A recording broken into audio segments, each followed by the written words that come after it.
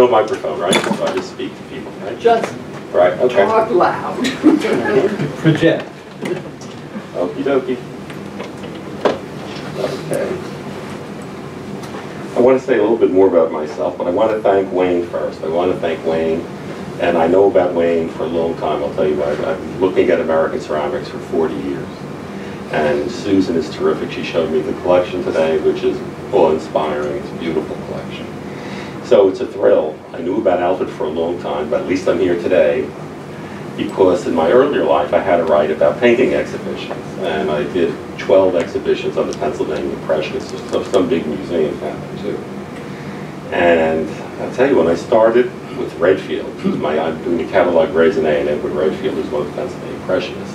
In the 80s, anyone was between 20, 10 to 20,000. Today, the same paintings, three to 400,000 for the same exact paintings. So you know, I, I think that ceramics have a big future in, in terms of appreciation of the public. You just have to keep on educating people. And I hate to make a relationship between money and art, but I, think that this people should be collecting this stuff. It's really, really important to collect it and to support it and support young artists that do that. So anyway, um, I got interested in ceramics uh, at Rutgers which is a great period. Kak Kui was there at the same time. I visited his house in Caldwell, and I saw the Roy Lichtenstein things he had. Rutgers had a great period in the 50s, that some major people were there in the 50s. And uh, I studied with Martin Eidelberg. I took his uh, craft design course. And if you don't know him, he's the one who did the Princeton show, wrote about the arts and crafts movement. He did the ceramic section. So he knew really a lot about arts and crafts ceramics, and on my paper for him, which was probably, I threw it out years ago, but it was on Adelaide, the Oriental influence on Adelaide Robineau. So, uh, but I appreciated her work, it was beautiful. So I've been, um, so I've been interested in ceramics for a long time. In the 90s, I did a series of articles. The first, one of the first was on Frances Senska, who was Peter Voulkos' teacher. Peter Voulkos and Rudy Autio, Michael McTwigan, I wrote it for him then. And then I stopped writing because I got too busy with painting exhibitions and things. And then I got interested in Waylande Gregory. It was Waylande Gregory.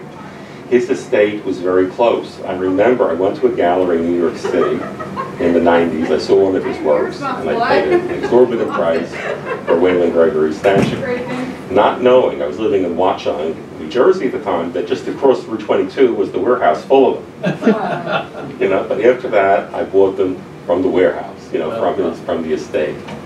And there were two women running the estate, and I'm an art dealer too, so uh, they asked me to sell some Waylande Gregory stuff. But the, the painting people don't understand Waylande, but they saw my enthusiasm and they bought his work anyway. So that's what, what started. And, uh, and, and then they faded out. One lady died, and the other lady relied on me more and more, and I thought it was important to do a book. So I figured out a way to do a book on him. A lot of people tried before, but none of them had any success. There's a whole list of people who tried, and for some reason, uh, it never happened until I did it. So I was very committed to Waylande Gregory, and uh, and it's, it's in my backyard. He worked right about 15 minutes from where I live in New Jersey. So it was great, and I always write about artists from New Jersey and Pennsylvania. I don't think, I, I think artists are very good in your own backyard. I don't think you necessarily have to find them in Europe or Asia. I think there's some very good American artists right, right near you. Don't overlook them. So, turning back to Waylande Gregory, um, this is an amazing piece. Uh, it's uh, the Rhine Maidens. It's found Rhine Maidens fountain or Cowan pottery. Uh, I don't want to go into the details. He came from Kansas, and he was a child genius. He was very good at playing the piano. He, he, he patented, or whatever music people do, five years old, a piece of music called Kitty Wobble, a piece of jazz that he wrote when he was five. And then he told his mother he wouldn't do Mozart anymore, just Waylande Gregory musical pieces. like six years old. So he was like a child genius. He went to the normal school in Kansas, in Pittsburgh, Kansas.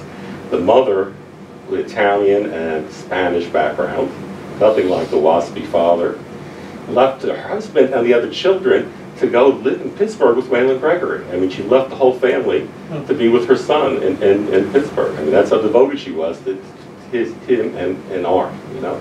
And he was lucky to have this Miss Bauman, who was a teacher in Pittsburgh. And she had been a student of Lorado Taft in Chicago. And that's very important, because Lorado Taft was a major teacher of American sculpture. And he was very important at the Chicago exhibition in 1893. He did major stuff uh, at the Columbian Exposition. And his students at that time were women. He was really attracted to women students. He, uh, Janet Scudder and Bessie Vonnoh, you can see the works of the Metropolitan, they were his students at the time. And he was a great teacher. I mean, if you want to know how to do the nude figure, which is the basis of Western art, he was the one to study. He really knew, he was a great teacher. Not so much the greatest artist in his own right. He was a great teacher. He got the ideas. And you can still see his studio in Chicago today. It's still open. And it was an exciting area because Frank Lloyd Wright was right there too at the same time. Midway Gardens, it was right there. Um, so uh, Chicago was very important and he was supposed to uh, live with in the studio of um, of Lorado Taft for, for uh, 15 months, and he wound up spending three years there instead. So he did his first early work. His first works were not in ceramics. He did plaster rooms. He did the Aztec room uh, in Kansas City in the President Hotel, and that's been taken down. But the theater in uh, St. Joseph's, Missouri, has this ancient, uh, ancient Middle Eastern art, like the lamassu, these big uh, animals that are like bull with wings and human heads with beards. That's the kind of decoration on a huge scale for this theater. So he worked in plaster. One of the first things he did in granite, a statue for a park in Missouri of a pan made out of granite, directly carving in granite when he was a teenager. And, uh, and, uh, and then uh, somehow, after learning all this stuff and not doing anything in ceramics, he had met Guy Cowan. Now, Guy Cowan is very important because he's another Binns medalist here. He went to Alfred and he knew all about ceramics and he had a family business. He wanted to know how to make them better. And, and I'll tell you, Cowan's earliest work was boring. The vases he made are boring. He got better as time went on. And he got acclaim for doing these bowl sets with little dancing girls with scarves. And he won some prizes at the Cleveland Museum for these little bowl sets. But, you know, uh, ceramics people think these are wonderful. But if you show the, show the same female nudes to sculpture people, they'll say, oh my God, like, there's no contrapposto here. You know, it's not good from a sculptural point of view. So he knew he was limited in terms of sculpture. He tried to study sculpture, got Cowan. But he found a better thing. He just got, got Waylande Gregory to work for him. So he taught Gregory all about how to make ceramic, how, to, how the ceramic process is, and he had a factory. You know, he had the Cowan pottery. The Cowan pottery was the last major American art pottery, really, from the arts and crafts movement period. And uh, it started in the teens, and uh, because of the depression, it when it, it uh, was uh, when it was bankrupt by 1929, but you could be doing things for another two years. So it wasn't until the end of 1931 the factory stopped. And in the last years, they did better work than they had done in all the previous years. The most amazing work was done in the five last five years of the pottery, which is amazing. You know, they have flat over their head, and that's when they decide to do really good work. And some of the classic pieces, like Victor Schreckengost's Jazz Bowl, is from the end. It's from 1931, when the Depression started. So it's an amazing period, and uh, ben, and uh, uh, Cowan was a wonderful teacher. You've got to consider he's one of the major teachers in American ceramics, because the students were. He taught Gregory himself, but not as a student. And then he had Schreckengost and Ghost and the whole Cleveland School. Uh, ceramics were his students, and they did some of them the designs for the pottery. As it was closing, it's really, they were doing fantastic work, winning prizes at the Cleveland Museum when there was a depression and things were closing up. So this is a really large piece, and there's two of these. This is the Rhine-Main fountain, and he did three operatic themes. Um, this one is 29 inches high by 34 inches wide, so it's a big piece, and it relates to, does three major fountains after this. And uh, this one is in the Wolfsonian in, Miami, in uh, South Beach. And there's another one in the Cleveland Museum, so there's only two that I know of, and they might be it. So it's a big project. I don't know what Cowan sold this for. And there are two, um, two seahorses that squirt water at it that they didn't have after the summer. So it was a set. Really. So the Rhine Maidens is an interesting story. The Rhine Maidens for Wagner's uh, ring cycle. They're at the beginning of the ring and at the end of the ring. they represent nature. And uh, they have the gold, the nature, you know, like oil and things, the, the, the richness that nature has in the Rhine River. Albrecht, who is a dwarf, ugly dwarf at that, wants, uh, likes, likes the way these girls look, and uh, they try to tease him. And then, of course, they dump him. So that upsets Albrecht very much. He steals the gold, and that starts the whole ring cycle, you know, the whole pro problem. Stealing the gold from nature, really. And it's resolved at the end of the cycle, because at the end, uh, Brunhilde uh, has a torch, she burns the world ash tree, Valhalla tumbles, like the end of World War II kind of and the Rhine maidens get back their gold. So nature is gets back the gold. So that's what the you know the whole story. I don't want to talk about three hours long about the story of the Rhine, the Rhine, Rhine gold, but that's it.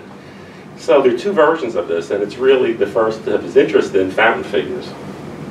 Now, where did he get interest in fountain figures? Okay, this is in Chicago. This is huge. That's a car in the lower right-hand corner. This is by Lorado Taft. This is The Fountain of Time. And it's a huge thing based on a poem. And it's really late, it's from 1920. And I think Lorado Taft is working a Beaux-Arts style from the end of the century. And Waylande Gregory thought this style was out of date already as a student. But he learned how to do the figure from him. You know, he learned how to do sculpture. So this is enormous. And, uh, and I think a major influence on Gregory, was he did fountains. The whole also, Taft did, did fountains throughout his whole career. And that was an influence on Gregory.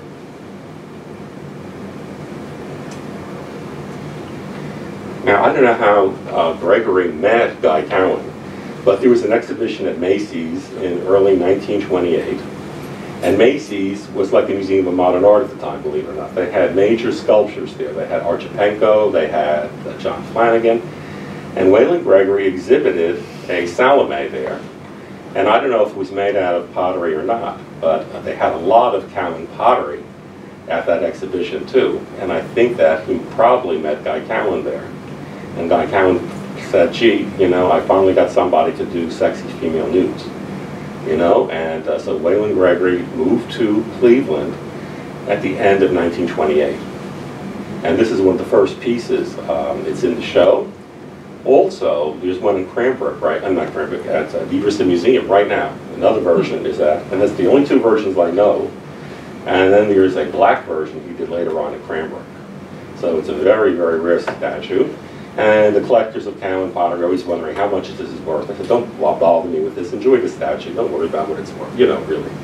But some people think that things are more valuable. I'm an appraiser, but I hate to think that things are more valuable, they're better. It's not true. The same pieces. It's just ridiculous prices that change every day.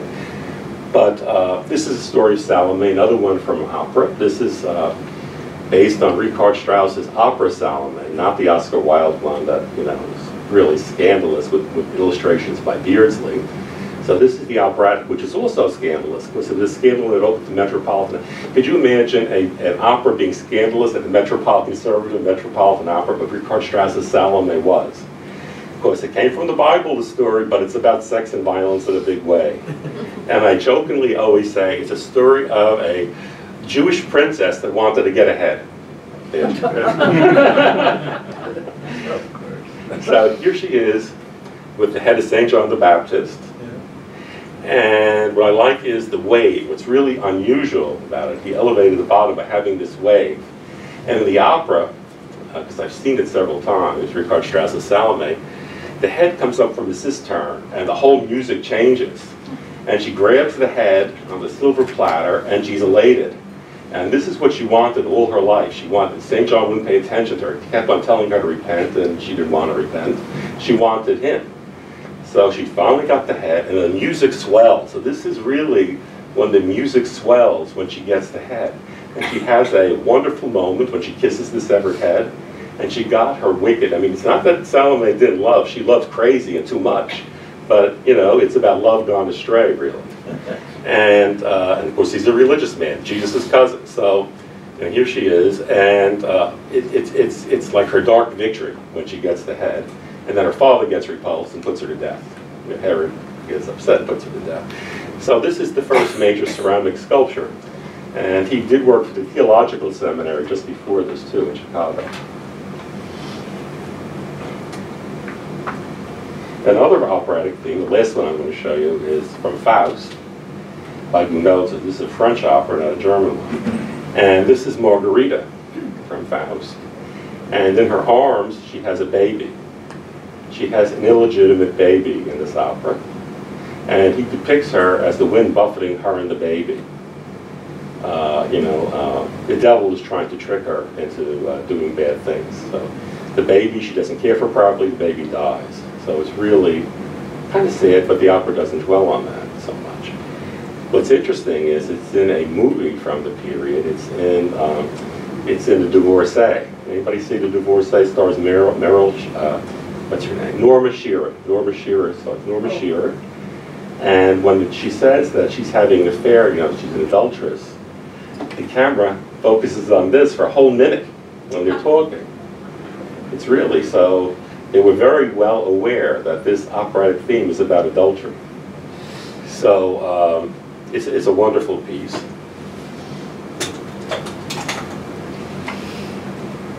So oh, this is at the Cleveland Museum showing their piece. I just like this photograph. So there's the Cleveland Museum's version of the Rhine Maidens. On the right is a Victor Schreckengost of uh, Jonah and the whale. A little tiny figure on the back is Jonah, and we got the big squirt of water on top of the whale. And on the left is Walter Sinz. I'm not the greatest fan of Walter Sinz. It's Jacob and the angel fighting. I like Paul Bogatay better, but that's a whole different story. So. Okay, another famous one that he did for Cowan was the Nautch Dancer. And in um, after 1929, this relates to a famous Ziegfeld Follies star. Anybody know who this would be? Somebody said Fanny Brice, haha, like Fanny Brice would dance like this. But anyway, who do you think this could be? Anybody?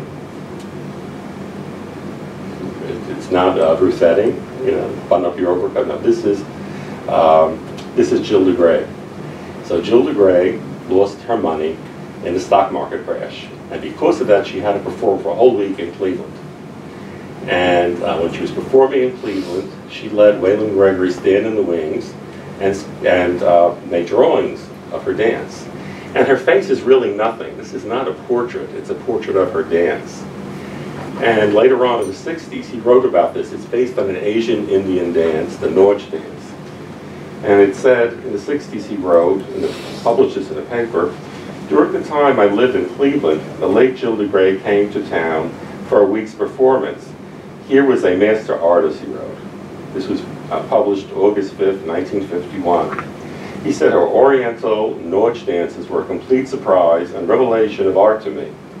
Her costumes for the Nautch dances consisted of diaphanous veils over her head and shoulders. On her arms and ankles were bells and Hindu jewelry of fantastic design. She wore gypsy-like voluminous skirts that flattened and swirled. One was covered with black mirror discs sewn on the material so that as she danced in the spotlight, thousands of reflected stars were projected all over the theater. So it's really interesting because as she's dancing, the skirt is bouncing up and down kind of. Really very interesting. Uh, this was mostly in white. This was his personal one. The black ones are ones he made for himself, so it's like an artist proof. These were limited edition statues that Cowan could offer higher prices versus the production stuff that they're doing. So this was a limited edition of 50. I'm not sure they even made 50 of them. But this one was made for himself. It came from his estate. And here's Jill Gray herself. Beautiful lady. And it says, to my favorite sculptor. And uh, she's interesting. And uh, very Art Deco, her outfit, too. And then I was researching this one. This is the burlesque dance, which shows, I think, his friend Alexander Archipenko, the Russian uh, sculptor, who did some work in ceramics, too, in the 30s, you know, in upstate New York. So they knew each other. But anyway, uh, this, I, I figured, who, who's the, you know, who posed for this one? And uh, an early title for this was the shimmy.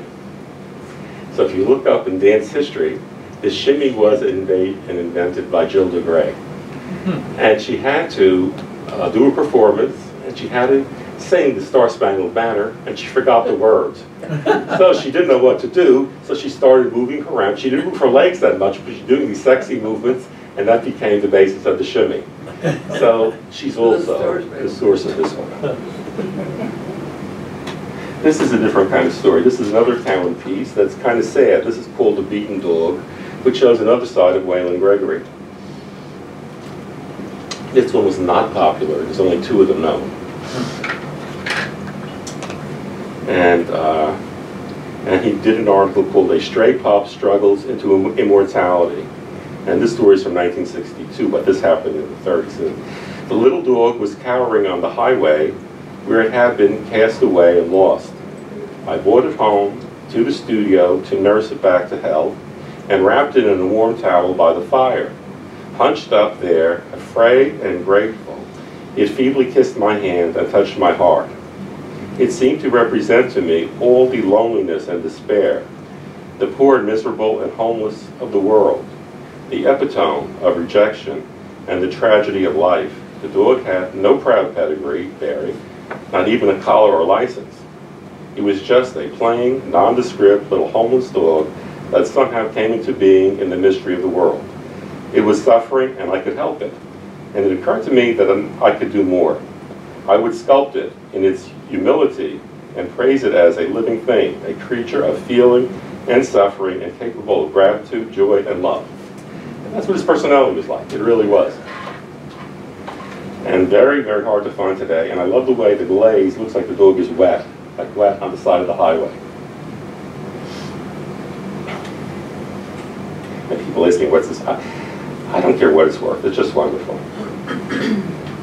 Okay, this is the other side that Gregory didn't like so much, but it's a very interesting subject because it's a flamingo. And I did some research into flamingo uh, design. Let's see. Okay, uh, Okay, so flamingo, uh, the flamingo uh, ceramics were first made in the 40s, commissioned by Florida's Cavalier Hotel for guest rooms. That's the first time ceramics are known to be made of flamingo, but this is from 1930s, way before. And then the plastic ones, like in, um, you know, like in pink flamingos, they started in the 50s, the lawn flamingo. So Waylande Gregory is way ahead of his time. And this one and the heron show up in Florida. You know, uh, there's a lot of them that were in Florida. This was commercial, so it was cheaper to buy this one. Uh, it's in a bowl, and a, it's a flower frog. So you can put water in the bowl and put little uh, stems of flowers all around the flamingo. And if you wanted, it had a pair of matching candlesticks. And these were like mass produced. It doesn't even have his name on it. We know it's Waylande Gregory. And uh, the glaze is very unusual. Cowan called it had wonderful glaze, the Cowan Company. They called this Oriental Red. And uh, it's like a crimson color. It's in the show. And although it's the cheapest piece in the whole show, people love it. And um, the glaze is interesting because it had a uranium glaze. They're not the only ones to do a uranium glaze now. But orange and yellow glazes you have to watch out from the 30s and 40s because they often had uranium in them. And I used a black light in this, it doesn't work anymore. It's not, it's not glowing in the dark, it really doesn't. But the United States government stopped it in 1942, they would no longer allow ceramic artists to use uranium. So it's an interesting story in terms of glaze. And here's the other piece. Uh, this is the heron that he did, which is rare today. The other one was, uh, you know, popular. This one is hard to find. I have to tell you how I found it. Uh, this is not from his estate. I was in Dania, Florida, in an antique shop, and these people, it was in a pile of junk, and it said on it W. Gregory, but in the glaze, the people thought it said West Germany. So I bought it for a really good price. so don't, you got to look in these thrift shops and things. But it's a very art deco. Also, there are pieces in his estate that didn't get produced by Cowan. He did a famous vase with squirrels in the Metropolitan. It's in the Ellison collection from the same year. This is 1930. And these are kind of like bookends, but these are unique. They're in photographs too, and they say Waylande Gregory 1930. And they also have a wonderful Art Deco style. I think you probably know, I, I know some of you are more advanced, but I can't assume everybody's advanced. The Art Deco got its name later on for a show that happened in Paris in 1925. Uh, the exposition des Arts et Décoratifs in Paris, where it got its name. So very much in the Art Deco style and these kind of animal things. He loved animals. He had big dogs, he had cats, he had toucans, he had monkeys, he had peacocks, he had every kind of animal. Uh, he loved animals. No children. He loved children, but didn't have any. Instead, he had a menagerie. Then uh, town closed, and he moved, got a terrific job at Scene, uh, not north of there at Cranbrook, which was just starting, and they hired him to start the ceramics program. And he was there for a year and a half, and at Cranbrook, you had to support yourself by getting students. You know, you were paid for teaching, but you had to find them, so you know, you had to go to the girls' high school and pass around pamphlets and all this kind of embarrassing stuff. And anyway, this is a very classic one. The print shop at Cranbrook made this one for Waylande Gregory. And he was smart. George Ohr did this too. He had his pieces photographed before they were glazed. Because that way you could see what they look like. The glaze covers up the details. And this way, you know, you could see the figure much more clearly. And it's very modern. It's the girl with the olive, uh, based on Brancusi, really, I would think. And the olive relates to ovulation, I'm sure. So it's about sex and reproduction, naturally so. And here she is, the finished version with glaze. And you can see why he, he did, he wanted to photograph her before she was glazed in black and white. And I think it's great. Every kind of drip on this drips in the right place. Uh, this, uh, the uh, Ceramic National started in 30, 32 at uh, the Syracuse Museum. The first year was really for New York, New York area artists, you know, from the Rochester, the whole this area. But starting in 33, they had ceramicists from all over the country, and he won the prize in 33 for this statue, uh, the olive. And, uh, and then after that, he was often a juror, so if you're a juror, you came with prizes. But they did a very interesting display of this stuff for every year for about 10 years at the, at the different ceramic nations. And this is the most famous piece that Waylande Gregory did in the 30s. This is called Kansas Madonna. And in the 30s, you have an art style that's called regionalism, like Thomas Hart Benton, Grant Wood, John Steuart Curry, and others worked in this style called regionalism about the Midwest, not about New York City. That was something new. Not about New York City. It was about the plight of the farmers and the Dust Bowl and things that were bothering farm life. And he was from Kansas. And there was a magazine called Fortune Magazine. This was illustrated in the Christmas issue of Fortune Magazine in 1937. And the interesting person that saw this was Henry Fonda, you know, the actor. And he wanted to buy it, but it was $1,500. They said the price was really high in the magazine, and Henry Fonda couldn't afford it. But there's a connection. That's they. And what happened was that Henry Fonda was shooting Jezebel with Bette Davis. And there was a clause in the contract that if his wife went into, his wife was staying in New York, she only trusted a New York City doctor when she was pregnant. And if she went into labor, they have to close down Betty uh, Jezebel so Henry Fonda could go back to New York and then they resume after the baby was born. And that's exactly what happened. So they closed down Jezebel and he went to New York for the birth of his daughter, and it was Jane Fonda, who was born by cesarean. And that time cesarean was a big deal. Like she was in the hospital probably for three weeks at Doctors Hospital on the East River, in New York. So out the window, Henry Fonda could have seen the boats and the harbor and everything else at East River. And to pass time, he visited Waylande Gregory, who was living in Metuchen, New Jersey. And he did two sculptures of him, fired in his kiln at, at, uh, at Elmwood Farm or White Goose Cottage, not at the Atlantic Terracotta Company. He had two smaller kilns there. You can tell from newspaper clippings. So they were fired at his, at his place in Metuchen instead. So they built a real friendship, and uh, Henry Fonda tried his hands at three little sculptures, and I don't know whatever happened to them. One was a, a frog, one was a mouse, and some kind of a new, I didn't say what sex the new was, but some kind of new. And uh, the Fondas like to know where they are, but I don't know where they are. And I think they're lost. Unless Henry Fonda took them home and threw them out, I, heard, I had no idea. he did buy one. He bought a new girl swimming. And uh, after he died, he went to his grandson, Jane Fonda's son, who's Troy Garrity, owns it today. And it was in the pool, so there's a, a water line on the statue because Henry Fonda put it in the pool, actually. So, um, oh, and I sold for the estate, I sold the larger portrait of Henry Fonda to the Everson Museum, and it's on display right now. So if you want to see the portrait of Henry Fonda he did, it's on display now, as is um, what I'm going to show you. It's called Europa. Europa and the both, both of them are on display now. at the Everson. They wanted to show them when this show was at Alfred. You know, they wanted to make it correspond. Okay, Cranbrook, that was from Cranbrook, sit. He also did a little figure of a deer, which I think is adorable. It's a very crude porcelain, very, very crude porcelain. He was trying to make porcelain. And he said he left nothing. But then he went to Cranbrook, they had an exact duplicate of this. So he did leave behind one little sculpture, which they still have, and that's all he left behind at Cranbrook. Because uh, there was a situation bank holiday, they, they, they, they ruined all his stuff, and he sued. So, uh, so they did, he did leave behind, I guess, to show how humane he was, one little deer, and this is called Cranbrook deer.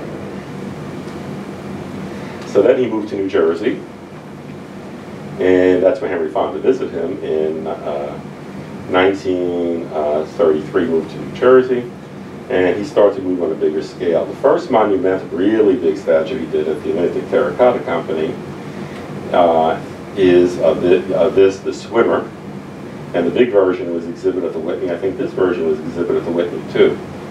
And unlike a lot of ceramic artists, he was accepted by the fine arts community. Uh, only Carl Walters and Waylande Gregory were really accepted by the Whitney. Schreckengost and the other members of these Cleveland School weren't. But he did stuff that to the people looked like sculpture, no matter what it was. It looked like sculpture, not just ceramics, it really looked like sculpture.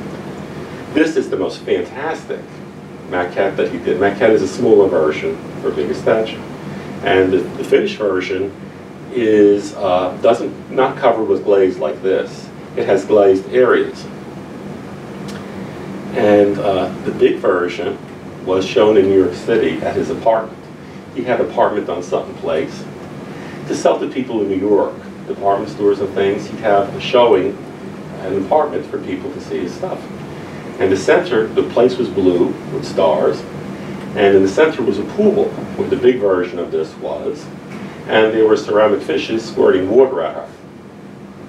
He later on took the statue to his house in New Jersey. Now, he didn't keep the apartment forever, but about five years he had his apartment in New York City. And the big version was the center of this. But I think this is the most successful of the maquettes that he did. And it begins to show his interest in glass. He's a major glass artist in the 30s too. Corning has his works. And uh, he didn't blow glass, but he put it in the kiln. That's what they did. Three major glass artists in the 30s, Frederick Carder, you know, Steuben, and Waylande Gregory, and uh, Maurice Heaton. They're the three leading glass people from the 30s. And so he's one of them. He's in, you know, he's in the books, the Press Museum and everything. I wrote an article on it for uh, the Craft Museum. And um, I think it's online. I think you can see it online. So this begins to show it's not just glaze, it's getting to be glassy. And this interest in glass and ceramics keeps on going. And then he develops uh, this idea for really monumental sculptures, the ton size, which the gift to Alfred. And he developed the honey, honeycomb technique, which if you saw this being put together, it's got little compartments of, uh, of clay, like a beehive has it. And then, so it has an internal infrastructure, and around it is the skin. And uh, he, he wrote about this too, and how he did this. He knew that to make a standing statue, clay statue in the kiln that's hollow, you need to have an armature, which would be, uh, could be metal, which would melt, could be wood, which would burn, and the best thing to do was to make it out of ceramics. So that's his idea, keeping the ceramics inside the hollow statue so it would support itself. And then, while it was liquid when it was being made, he kept it wet, mean, spritzing it with water. And then, when it was finished, he let it dry for a period of time. And then he put it in the kiln in his house. Uh, well, first in the Atlantic Terracotta. This was at the Atlantic Terracotta Company. And he would fire it for two, uh, two, uh, two weeks, for a two-week period. And uh, And this is so large, you see in the show, it was put in front of the Philadelphia Museum. The Ceramic National travels to Philadelphia that year from Syracuse. And this statue was photographed on the steps of the Philadelphia Museum. So she was there before Rocky on the steps. He's nothing new, you know, she was there first. So anyway, this is the back of her, taken by a painter from, from Allentown, Pennsylvania named Richard Peter Hoffman. And his boyfriend was William Swallow, who's a ceramic sculptor. He also exhibited at the Nationals. So this is the back view of her. And that's Philadelphia, in front of the Philadelphia Museum.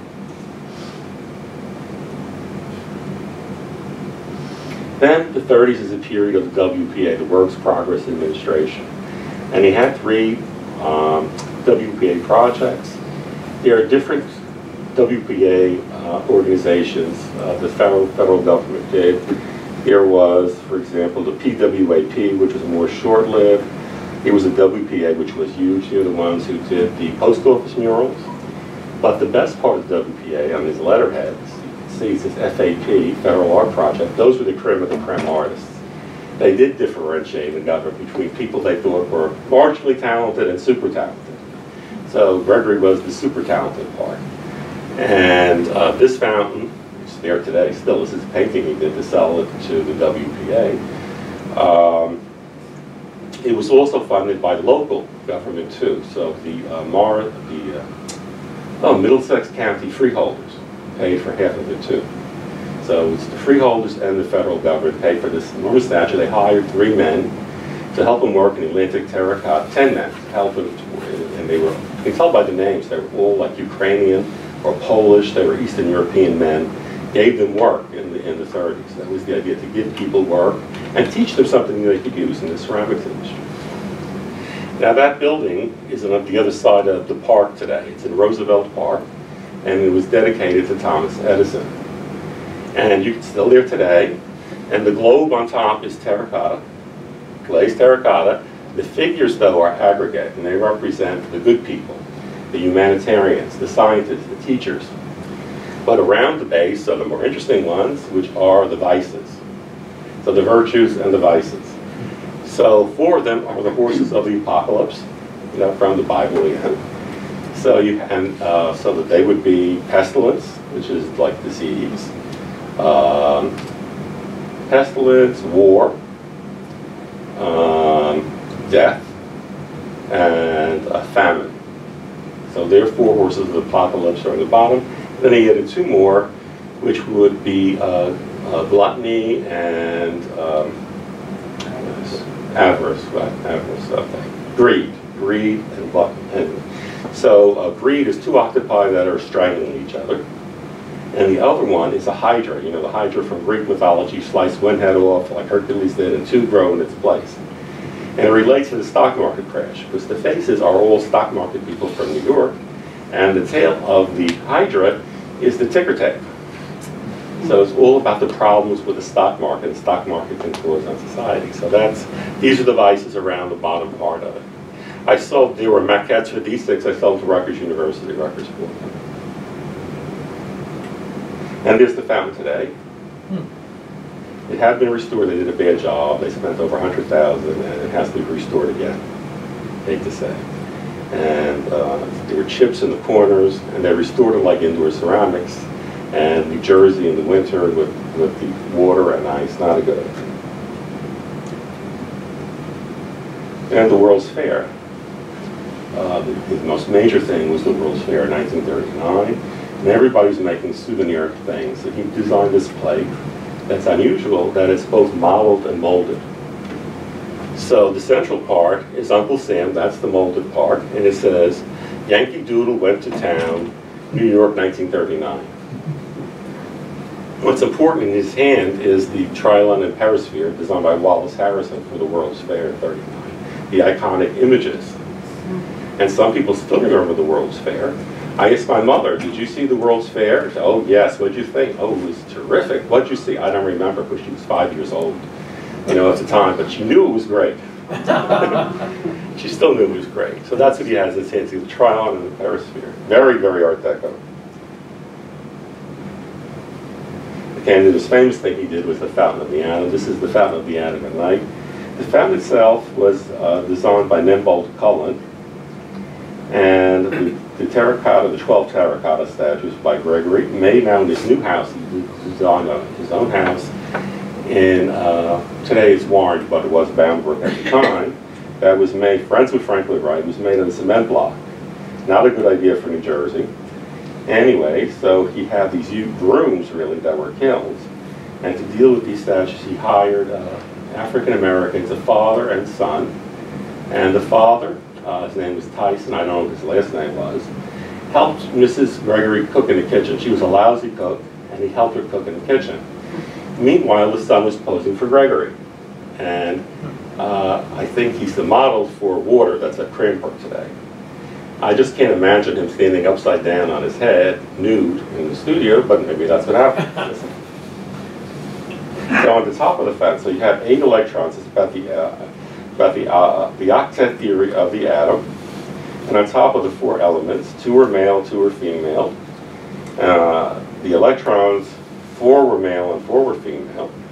And on top, uh, the elements were Earth is always female naturally, air was male, and um, and water was male, which was based on his assistant, really African American assistant, and um, and let's see, and, and air. So air, air, air and water were male, and earth and fire were female. And there's a version of fire in the show. And here's a drawing he did in his studio for water. And this is Ralph, his assistant. And here's Ralph in the, in the maquette. He did four maquettes of this uh, for the big statue for the World's Fair. And it's hollow like inside, as fire is. So the idea is that water and fire you could see through. So he wanted to make it like hollow inside. And here's the big version of water. And I think it's the best of them. This is in Cranbrook today. The best of the elements. And these are all the ton size. So you can see he had this dolly he had it on. And he also had uh, uh, Tyson and Ralph, they had a cousin who lived nearby too. So it'd be four men moving these around. And they, they are very, very heavy. And this is Earth. And I think it's based on his wife. In this version, she looks pretty nasty. Probably is his wife. And uh, Yolanda. So she has a fierce look. Uh, she's an earth goddess. She is surrounded by minerals. And, um, and he said she was virginal, which is very, very weird because in mythology, earth goddesses are nothing but virginal. They're mothers. So why is she virginal? She sounds like his wife, actually. So anyway, she's kind of nasty. Let's see, I'm going to go back. Let's see, back. Direction. No, I'm going the wrong direction. Okay. This is the maquette for Earth, and it's beautiful, and she's not nasty looking. So this is a very, very good maquette of, of Earth, and I think beautifully done. I like the maquette better than the big version, actually. Beautiful face on this one, and you can see the minerals. Something like the one it's at, you know, it's at Alfred. It's something like really mother and child without the baby. Similar kind. I like this one better than the finished version. And the electrons. The critics, the British critics really like the electrons. They wrote a lot about them. And they thought there was a lot of sexual energy in these uh, electrons in, in the critics. And uh, this is on the cover of the book. And there, there were eight of these. And her eyes are very strange, they're like suspended in space, her eyes. And she's holding a lightning bolt on her head. So it's all about really atomic energy versus sexual energy. This is a beautiful one. That's at Richmond, University of Richmond Museums, and there's all these bubbles on the back of her. And these are the male ones, uh, upside down. So uh, I think this is one of the best of them. Well, there are only two male ones. Uh, the other male electron's African American, and uh, as is water. So um, the critics, like I said, the British critics really liked it, and the head is hollow like that, just as with Mother and Child, which is kind of Viennese kind of influence.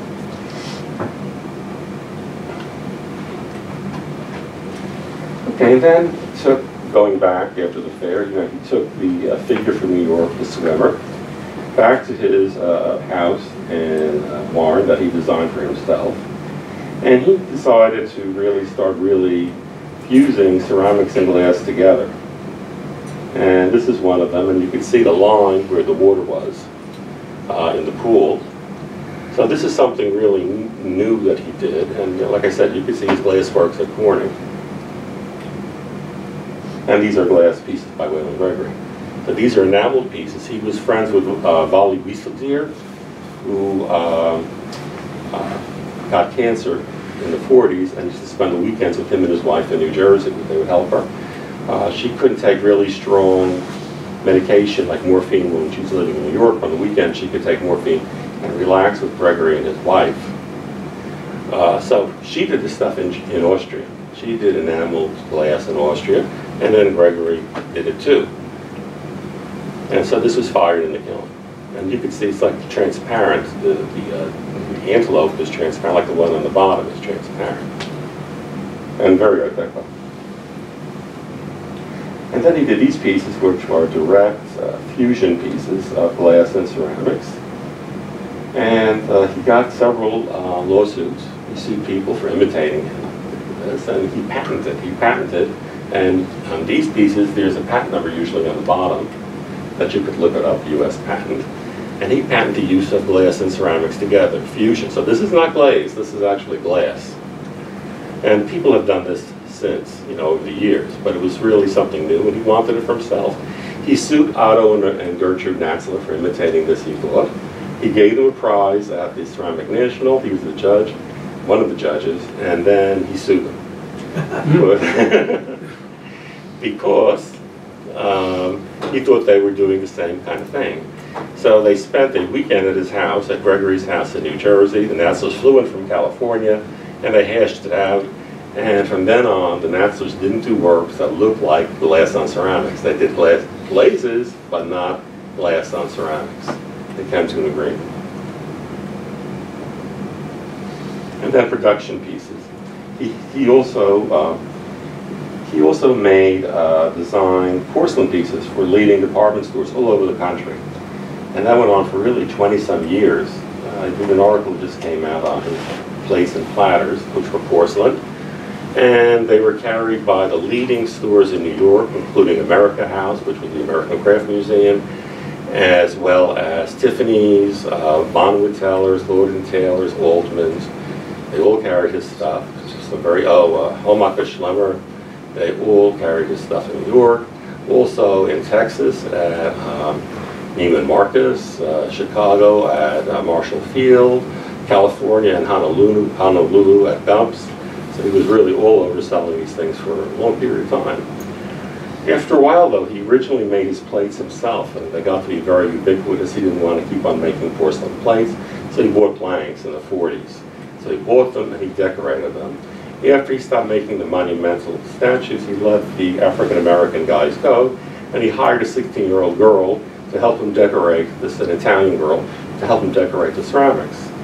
And she always said she painted in the dots, and some of the pieces you can see like dots, that's what she did.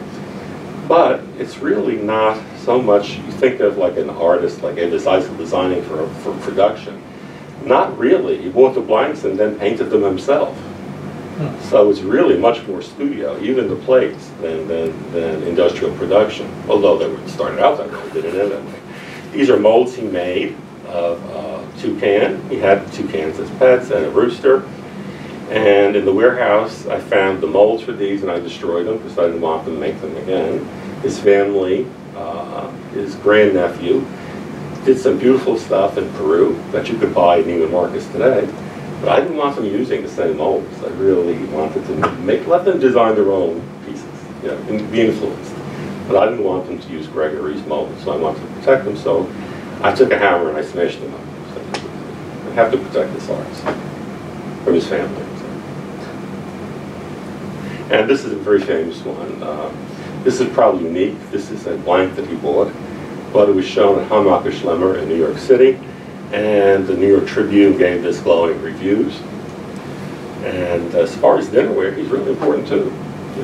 This is absolutely beautiful. It's a big, platter for, for seafood. And then he also did things like this. And he was not a racist at all, like some of the people at Cleveland School. I'm not going to mention names, but he um, he did African things. He saw beautiful beauty in African designs. And this one has a fantastic. Supposed to have a 24 karat gold glaze. That's kind of unique. And he said he fired this seven times to get the finish exactly right.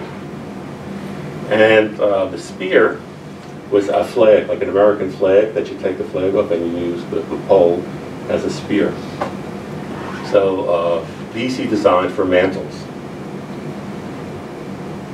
And that's, that's it. So, you have any questions about this?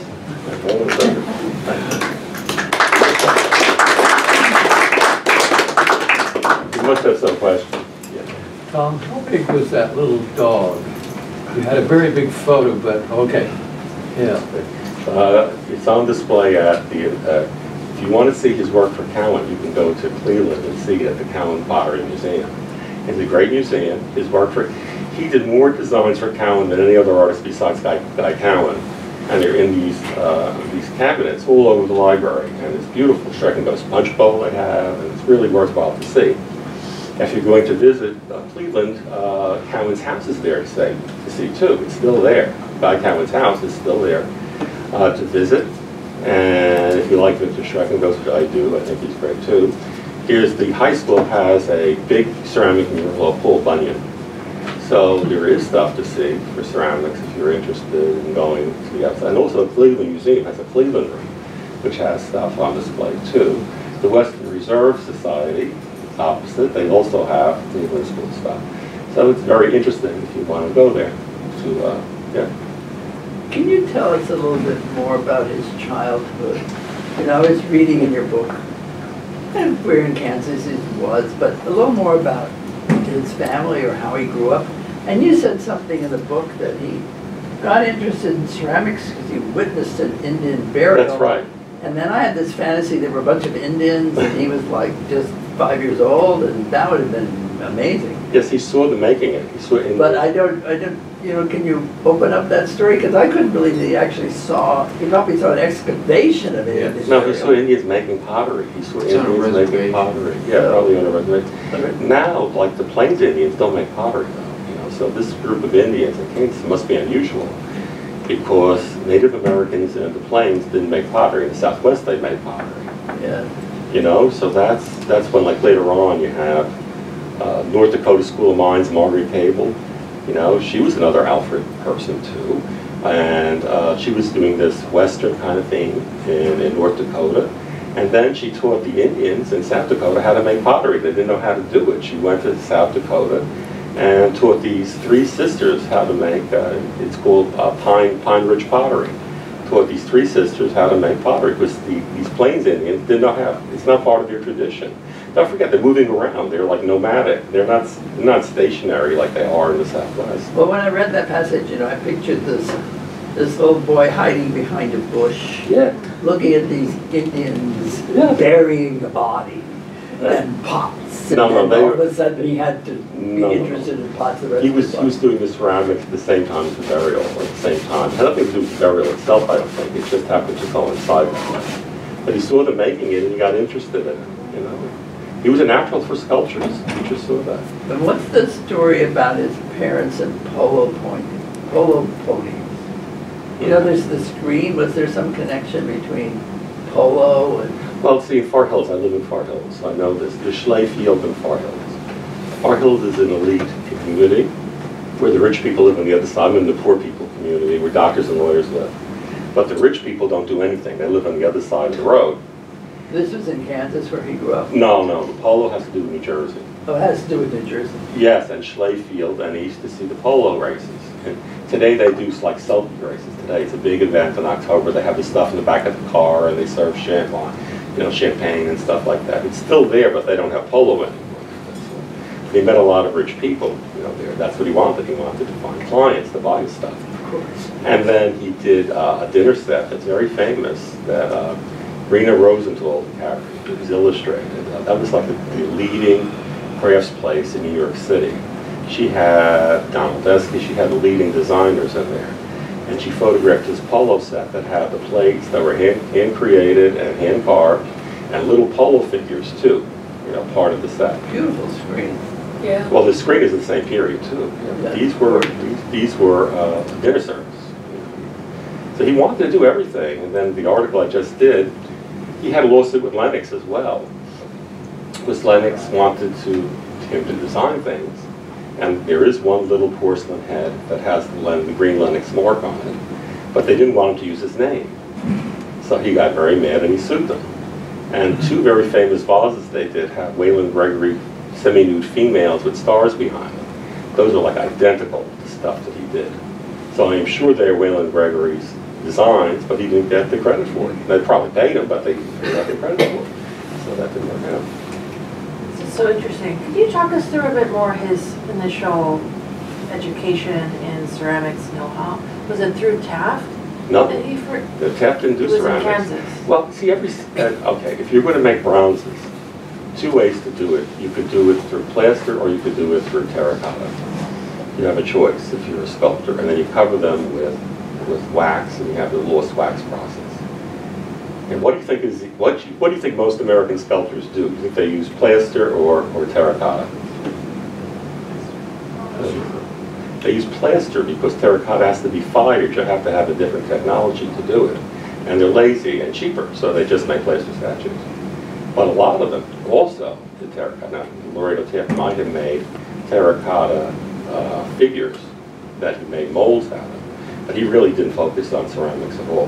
It was Guy Cowan. It was totally, you saw the Guy Cowan stuff at Macy's, and it was Guy Cowan who got him involved with ceramics. And he was like a Dr. to water with ceramic sculpture. And Cowan was a student at Elms. Yes, yeah. Tom, you didn't show the granite piece. Is there any record of, It's a small photograph, that's all we're Oh. looking for. Uh, After, after this, it's going to the Beach Museum in Kansas, which is near Missouri, and they're looking at parks in Missouri to see if they still have this granite statue of Pan. But that's very modern, it's hard to do carving in granite for a teenager. And uh, it's part of the American sculpture time, that's something called direct carving, where they were carving directly in wood and in stone. In the 19th century, the American sculptors would have a model, and the Italian stone carvers would carve it in marble.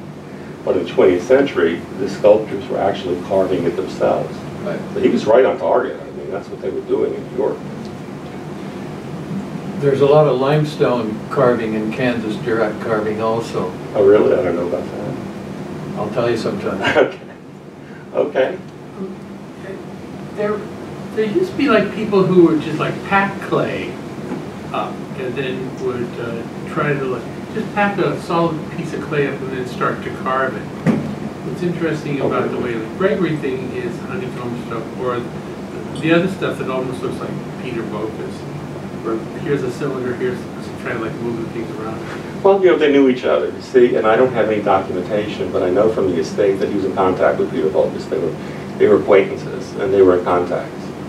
And he knew everybody in ceramics at the time. He knew everybody well in there. It's interesting, um, the other thing is like, the, um, after I left Borknecht, I went to a different gallery called Kraushaar, which was an old. Yes, I love Kraushaar, yeah, Anthony Kraushaar, I knew him. which was a really old Whitney gallery, Yeah, and there's like a lot of really kind of interesting people. Um, John Sloan, John Huh? Sloan, John Sloan, Maurice Prendergast, Yeah, it's like. William yeah. Glackens, yeah. Yeah, Ashcan and School. looking at some of that stuff and trying to figure out how that stuff fits together. Why he wouldn't be, why is he not in that group? Because he's more like regionalism. He's more like Thomas Hart Benton. He's later. later. And he wasn't part of the New York Whitney set. Well, later on, he exhibited at the Whitney. He exhibited at Whitney, so did Carl Walters. The only two ceramic sculptors that were exhibiting at the Whitney. Carl Walters was the first. He's before Gregory. Yeah. And then Carl Walters did the doors of the Whitney. The doors of the Whitney in New York, when they started out, were not ceramic, they were glass. They were uh, molded, like glass, slump, slump molded. Put the glass on top of the mold and heat in the kiln and it goes into the mold. That's what, that's what the doors of the Whitney were. They were these glass panels put in a metal frame, and Carl Walters did that. So he must have had some influence on Gregory too, I would say, too. Just that, you know, The Whitney was showing Carl Walters and Waylande Gregory, and a- just one statue by Bobby Wieselthier, who had some influence on American ceramic sculpture too, and she. She was in Cleveland. Very interesting story about her. She was very famous at the Wiener Werkstätte. She studied the uh, Kunstgewerbeschule in Austria. And uh, the Metropolitan had a show of ceramics. After the success of the Art Deco show in Paris, the Metropolitan had, around 1928, a traveling ceramic show. And she went around the country with the ceramic show. And it's really interesting. In New York City, no one paid attention to the ceramic show. When it went to Cleveland, it had a big, big effect. People in Cleveland really loved the ceramic show, and she stayed for a period of time in Cleveland. And she worked at uh, the Supreme Pottery that's outside of Cleveland. She was not hired by Guy Cowan, but her stuff is important because she's part uh, Vally Wieselthier. That was- And she became very good friends with Gregory. He helped take care of her when she had cancer at the end. He did her hands. He sculpted her hands after she was dead. You know, so uh, it was a close relationship. She was tiny. Yeah. I lost the picture. Somebody went to the house and stole the pictures of Gregory and her. But apparently she was tiny and sat on his lap in pictures. How about, how about the, at Cranbrook and you have uh, Carl Milles? What- He, what- well, they hated each other. Oh, that's good to know. Yeah. It's, it's really ironic to me that Gregory is much more important in American ceramics than Carl Milles is in American sculpture. So Cranbrook paid a fortune for Saarinen, you know, Scandinavian, and so was Milles from Sweden. So they gave him a ridiculous salary, ridiculously high. They begged him to come for six years because Saarinen wanted him. And he didn't have to teach, he just was on campus, and, and that was it. He didn't have to teach anybody or anything, you know, once in a while critique something, and that was about it. You know, Gregory had to go and find people to take his courses in ceramics. And they treated him that poorly, really, because there was a conflict. There was a conflict because he didn't like ceramic sculpture. Then according to Shiko Takaezu, Maija Grotell said at Cranbrook when she got there, don't mention, everyone said there, don't mention the word ceramic sculpture, because they thought of Gregory and the conflict. So for Cranbrook, after Gregory left, the only thing that they wanted were vases.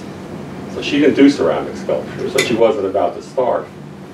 However, if students wanted to do ceramic sculptures, Maija Grotell was fine with the students doing it, but she would never try it because she knew that Milles, I don't think that was her thing anyway, but Milles wouldn't like it. But he was very, very powerful at Cranbrook. How about the work of Henry Varnum Poor in relationship to? uh, They were friends.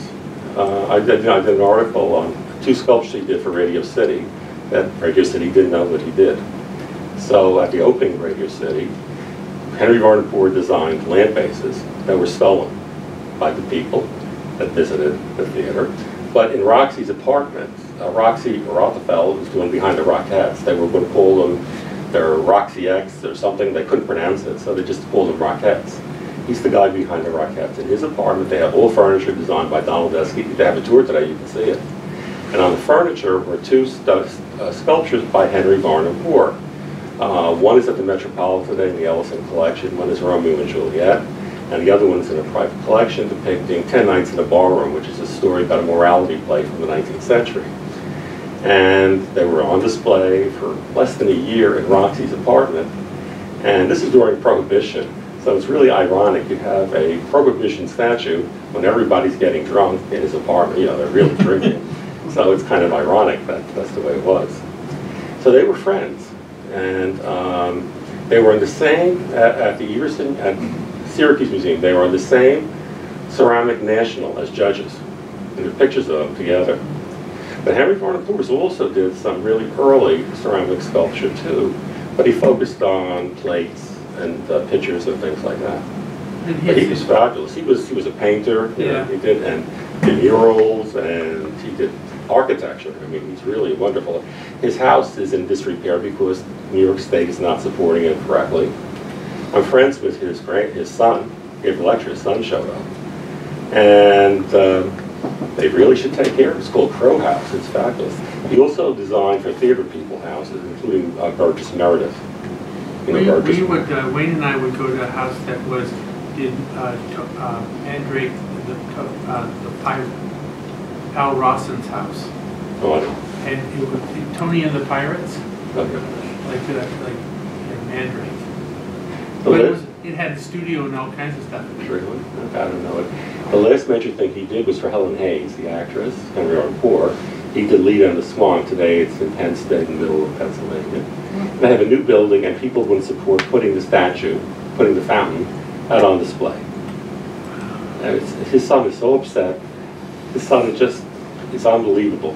The, the hardships he has supporting his father's stuff. It's really upsetting. Waylande Gregory's a walk easy next to him. One of, one of the things really nice about this is the interrelationship of how all the people came in contact with him. And being at Kent State, uh, when I taught there, it it was like really kind of amazing just to see. It's in the warehouse there, Penn State, the statue. of No, At Helen- Kent State, Penn State. Kent State. Kent. Oh, no, Kent, when no, I not Kent. teach Kent. Kent This is State, with a P. and Penn seeing State. the influence that he had on Cleveland, and the whole, kind of like the whole Cleveland connection to the Wiener Werkstatt and all that stuff. That's Vally, yeah, the influence of Yeah, Vally. it's really great. Yeah, he was terrific, he really was terrific. He did a nice job. No, Thank you, glad you liked it. Thank you, Tom. Thanks for coming, everybody. I've known about College Street my whole life, and I finally got here, so look, Yeah, it's great. finally happened, better late than never, right? All roads lead to Alfred. All right.